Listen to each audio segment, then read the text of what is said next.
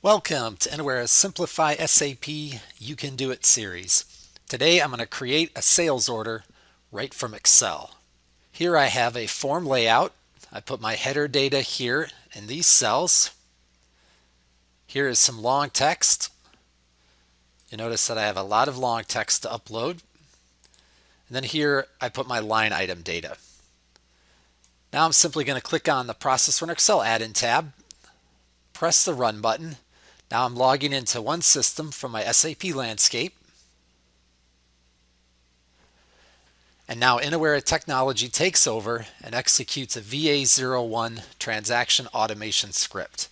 Here in the center of the screen is a run status log. It's going to show me how much SAP time is required, as well as the total time, which involves writing the SAP messaging to the Excel spreadsheet.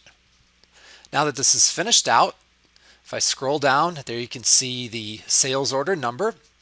And if I scroll over to the right here, here's my SAP messaging. Now I'm just going to highlight this and we'll take a quick look in SAP and take a look at the sales order that's just been created. Now I'll just maximize this. Here you can see my line items down at the bottom here. And let's take a quick look at that header text as well and there is my header text. That's how simple it is to create a sales order utilizing Innowera's Process Runner Excel add-in as Excel becomes the interface to SAP. Thanks for watching, and if you'd like to learn more about how to simplify SAP, visit us at innowera.com and be on the lookout for more videos in this series.